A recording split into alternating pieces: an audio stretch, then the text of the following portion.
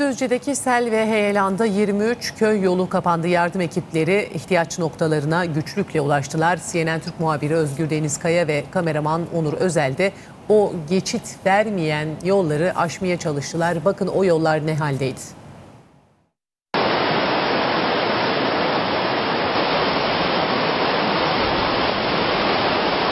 Dereler taştı, köprüler yıkıldı. Düzce'de sel ve heyelan köy yollarını kapattı.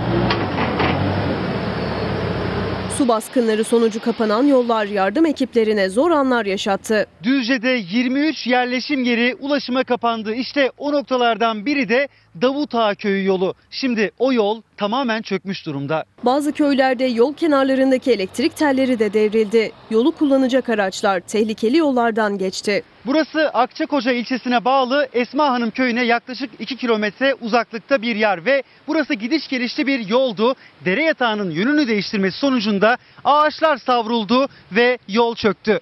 Yollarda hala heyelan riski var. Afet bölgesinde yeni heyelan riskine karşı iş makineleri de düzenli olarak çalışmalar yapıyor ancak bu da araçların uzun kuyruklarda beklemesine sebep oluyor. Sürücüler ve köy sakinleri yolların kapalı olmasına tepkili. en kısa zamanda yapılmasını istiyoruz.